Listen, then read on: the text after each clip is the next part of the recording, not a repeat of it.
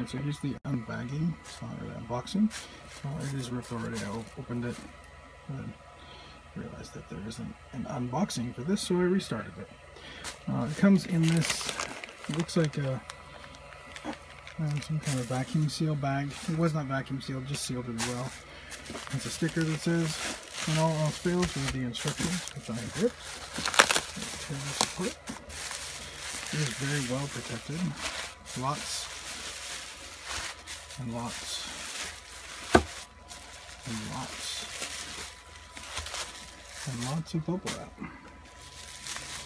Well, that's very nice. I was not expecting that. It gave me some long threaded screws. Installation. It did come with a glue stick. Was not expecting that. Very nice touch. So here we have it.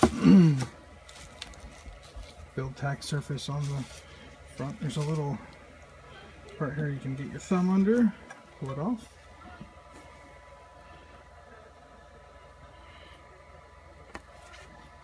It appears the back has like a Kapton tape of some kind.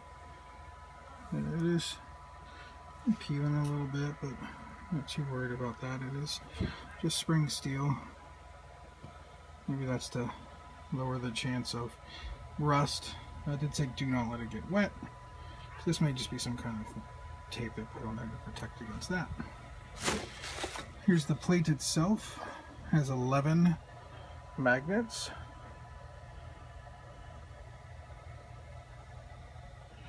Mag hole with the aforementioned cutout for lifting the plate. Made in the USA. Nice. Very nicely machined. So it looks like it has the studs already built in for what I assume are going to be the heating element. Very excited. That's where the mounting plate. Three bolts go.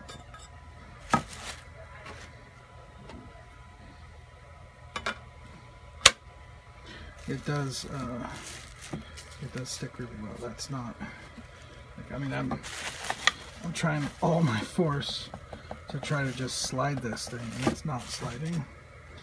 Now of course if you, you know, push on the edge you can straighten it up and even it out.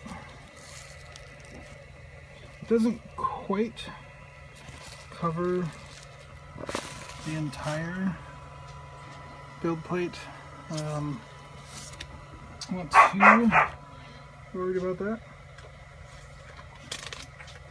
I'm wondering if maybe it's a little oversized. So that's nine and one quarter. Nine inches. So uh, it is a little bit bigger build plate. Let's check this one. It's about a quarter. Here. That's just about six. So it is a little slightly builder, large, larger surface. I'll have to check in the config and check the movement, see if maybe I will walk away with a larger build plate. That'd be cool. Um, otherwise, it's just a little bit of extra space for the print to have some little gap around the edge. So here it is, unboxing, unbagging, whatever you want to call it. It does take some force to lift it off. It's, um, I can pick the whole plate up with the lip. It's, it's pretty heavy. It does have a nice flex.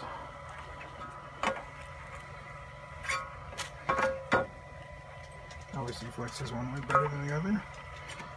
I'm excited to swap it out. As comparison, let's take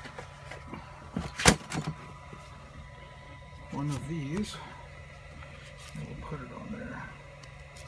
So this is the default stock pad. It's already on there. So yeah, it's a little bit bigger. Nice. Planning on getting another a spare plate so I can swap them out quickly and maybe going with this material. Not quite sure. Uh, let's see. One other thing we can check. We'll check the thickness.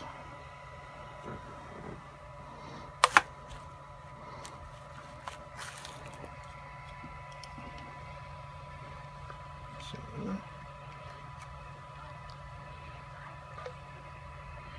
looks like it's about seven and a quarter millimeters. Do the same here. Oh, looks like it's actually a little bit thinner. It's hard to do with one hand holding my phone. This is about eight and a half. So it's about one and a quarter millimeter thinner. That was a pleasant surprise. I I'd have to make a lot of adjustments. Uh, if anything, I'm going to gain a little bit of build space. Nice. So, there you have it. Made in America.